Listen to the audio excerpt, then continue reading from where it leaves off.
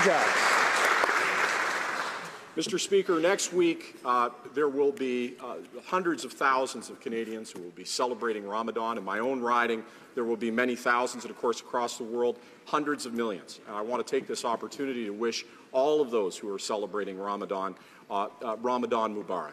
Uh, last year, I had the opportunity uh, to fast for the entire uh, period of Ramadan. It's something I'm going to do again in support of a charity called Give 30 uh, and that is to take the money that you save uh, from fasting every day uh, to give to those that are uh, more needy, uh, and particularly food banks.